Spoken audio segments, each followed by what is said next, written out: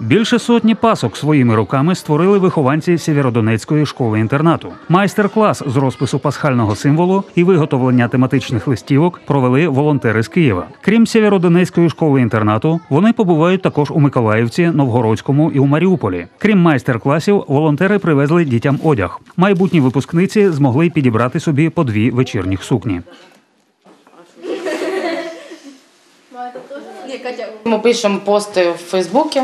Ми пишемо пост у Фейсбуці, і нам дзвонять люди, надсилають сукні. Це все роблять звичайні люди. Нас ніхто не фінансує. У нас є друзі ще за кордоном, в Америці, в Німеччині. Вони нам теж дуже допомагають.